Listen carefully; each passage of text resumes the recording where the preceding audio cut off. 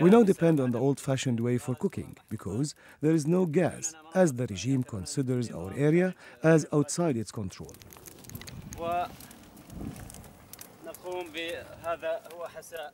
This is soup.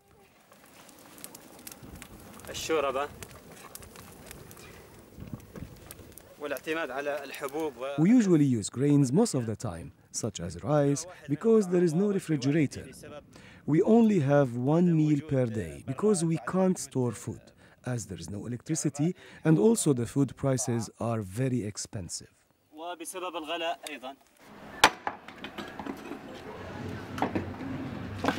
I live in Azawiya mountain and this is my work now. Someone paid me to chop this firewood so I can feed my kids. The work is occasional. The day someone hires me, we eat. But the day when no one hires me, we don't eat. There's no fuel or firewood for sale. We chop our trees to give us wood so we can warm our homes in winter. This is firewood from fig tree, which is very difficult to chop, but I have to. Sometimes we spend five days without having even bread. I swear my son today was crying asking for a piece of bread, and I couldn't do anything because we don't have any.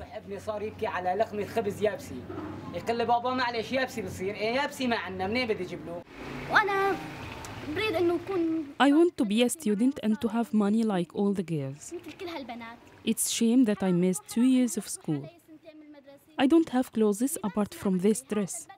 When I wash it, I have to cover myself with towel until it dries. Sometime I wear it before it dries completely. يعني البابا كثير ضيقه عليه المياه الرئيسية يعني أصبحت مقطوعة بشكل كامل The main water lines have been cut completely for two years. المياه مقطوعة منذ سنتين متتاليتين كانت هناك بعض المياه There was some water coming in by using those generators, but since the regime cut the water, no one can extract any water anymore.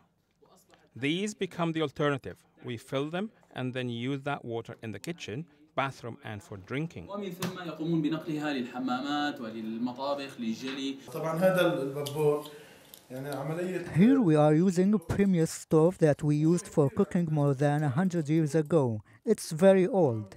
We had to start using it again after the revolution.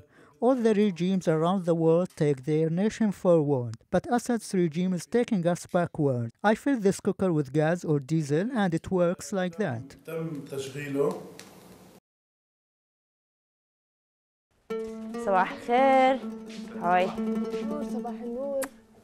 من إمتى مقطوع الكهرباء؟ هلا من شوي. يكون عندك شغل معك وقت بعد الجامعة لحتى نلحق نخلصه. خلص ما يعني بدك تنسي كل الديدلاينز يلا باي. باي ماما ديروا بالكم على الطريق. باي. أوكي.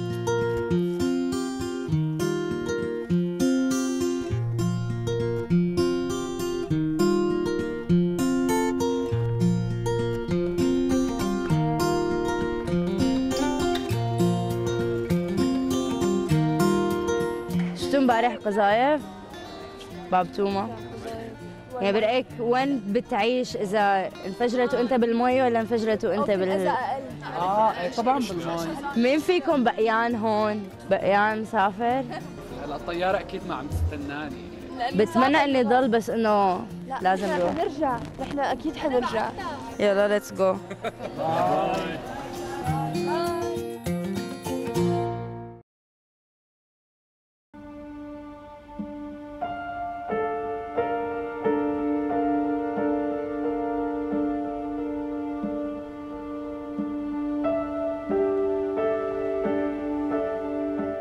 الحي شو لك ماما شو يلا جبنا بهذا رجعت إيه رجعته وما بطلع من المساحة نفس الشيء لا ماما يا باي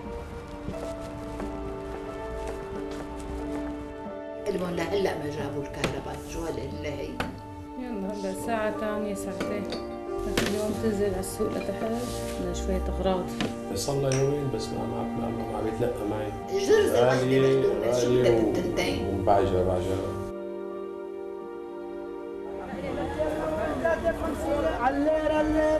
قد إيه الكرمنتينا؟ كرمنتينا ورقة ورباع. والزيتون 3 وربع الكيلو على الزيتون 3 وربع حلل كيلو غالي. كيلو غالي.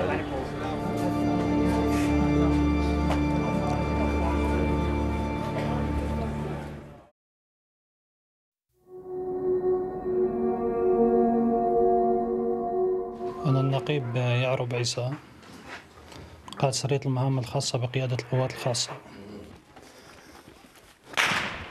لا أنا حاربت من بداية الأزمة بإدلب آه، سنة ونص بخان العسل بحلب آه، سبع شهور وببرزي وحاليا بالقابون. أول أزمة بس مهم. هون بالمكان حاليا آه، سنة وأربع شهور صار. بيشد بعد أحيان هدوء وبعد أحيان اشتباكات عنيفة. يعني حسب التعليمات اللي بتجي عند المسلحين بعد أحيان بضل فترة هدوء بتستمر عدة أيام. وبعد أحيان بصير اشتباكات عنيفة آه، يعني بتصير اشتباكات عنيفة بتستمر لعدة ساعات. نحن لما قمنا بهجوم إلى وقت عملنا طوق حول القيادة كانت قيادة القوات مهددة بال من تقريبا سنة ونص. فقمنا بهجوم احتلينا هاي المناطق وعملنا طوق حول القيادة. كانت مهمتنا دفاعية يعني بعد الاحتلال الطوق صارت مهمتنا دفاعية. آه، حرب لتقسيم سوريا إضعاف الجيش السوري آه، نهب خيرات البلد آه، قامت حرب طائفية تستمر لعدة آه، سنوات هي الهدف من الخدمة للمشروع الصهيوني والأمريكي بالمنطقة I'm a Japanese teacher. I, I, I work as a teacher in the uh, in my college, in the Japanese department. So that's what I do. In in my free times, I'm here as a volunteer How long have you been doing this? for two years. And what got you into it? Because everyone here uh, feel that uh, they have to do something in this uh, conflict. So each one choose a way, and I chose this way. Let's talk a bit about the experiences. I mean, sometimes you go to dangerous places, right? Yeah, but uh, when an explosion happens and we are there, you, you can predict how how much dangerous it is, but you just go there. So of course, me and all of us, uh, many times we just uh, put our life uh, on jeopardy. When you're doing that, do you feel scared? You know, we are not like robots. When it's really dangerous, you are scared. But you have the choice either to do it or to step back and run away. And you always do it. Yes. That's why we are here. Be- because you put the other's life before yours. Tell me what goes through your mind and in your, you know, your heart as well when you get the alert to go somewhere. You may hear that there's been an explosion, a mortar attack. Well, if it's really dangerous where I'm going, uh, the first thing I think about is my family. That will they be okay if I if I get hurt or something, and will I really get hurt or not? This is when I think about my personal life, but the first thing you would think about is, is uh, can you really help now? If you if you now meet people who are really injured and who needs you, can you do something to him to them? Can you really be useful to them? Tell me what you do when you arrive at a scene. There may be two or three or more badly wounded people. How do you decide who to help? You decide, first of all, the people there get really crazy and you have to calm them down. Everyone's shouting, even the people on the, on the ground. So you have to be the, the strongest one there. You have to look at the image from the outside, not to be in it, because everyone is in it. And that even if you are in it, you have to be an outsider, and you have to like to to see all the scene, and to decide what's uh, more dangerous, what's more serious uh, injured, and you go to the most one who needs you. When you first did it and you first went to a, a place when there'd been an attack and you saw people who'd been terribly injured with blood and, you know, awful sights. Yeah, I What- couldn't what- sleep. what was it like? I couldn't sleep that night. It was the hor- most horrible thing I've ever been through. Because you see this on TV, but you never really face it on your daily life, even if you are here. You don't have to face it always. But when you really face it for the first time, you just know how how strong you are inside.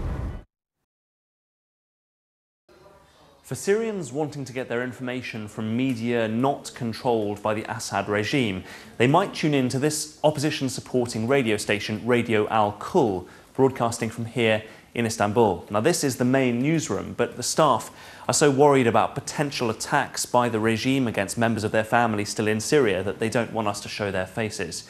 It's a station which broadcasts on FM in Syria, but also online there and to Syrian refugees here in Turkey. They're currently preparing their one o'clock news programme, which is about to go on air. The station broadcasts news, discussion programs, and an early warning system to tell those in opposition areas about imminent airstrikes from the regime. It's a vital tool in Syria's war, says the manager of Radio Al Kul. We have some people that provide us with information that jet or that uh, helicopter will go maybe to that neighborhood. So we, we are now working on an early system that to aware the people that this area maybe will be targeted from the regime. And by supporting uh, people on the ground uh, they have shelters and tell the people go to those shelters. Maybe maybe we can save some of lives. We have to provide the people in syria the accurate information the accurate opinions. The regime is just uh, telling all the time lies and lies and lies. The regime uh, media telling people a different story of why uh, there is a war in Syria. So we have to fight the regime in our way. People on the ground fighting the regime with weapons. Now we are in media fighting the lies of the regime.